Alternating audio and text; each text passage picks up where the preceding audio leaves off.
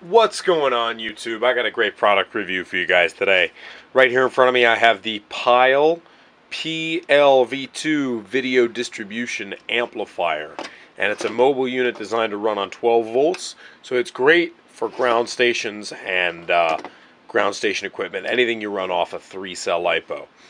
So first of all like what is this thing? Well it's very simple it's a video distributor.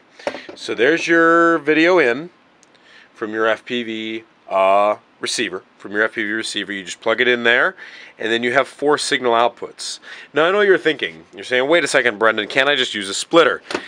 You can, uh, and what'll happen when you use a splitter is that every time you split your video signal, you'll cut its quality in half. You'll cut its um, sharpness, its signal quality, its single signal strength in half.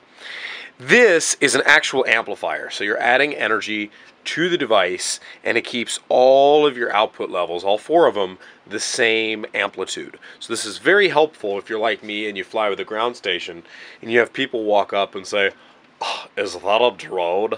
Can I see what it's doing? And then you hand them a set of goggles. Oh, dude, that's really cool. Yeah, etc.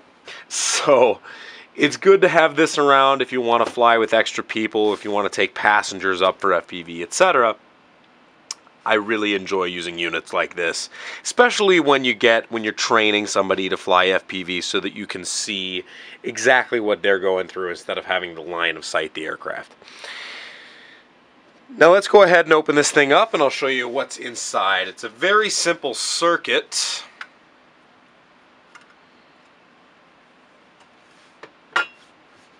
There it is. Okay, so here's the input. Here's a power input. We got a voltage regulator.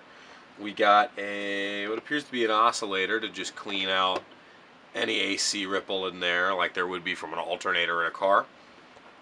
Some capacitors, variable uh, variable resistors to change your line level, and then just a op amp and a capacitor. That's all it is. It's very very simple. All it does is just maintain those levels at their peak. So when you split your video signal, it doesn't just keep degrading it and degrading in half. So very simple circuit, great thing to have, draws very, very minimal power. And this is what I'm going to be using this weekend, guys, and I'm sure you'll see videos of it when I'm flying FPV off a, off a whole projector and my goggles at the same time. So stay tuned. Grab yourself a video signal amp if you want to fly with more than one person. Keep sticking around for more great videos.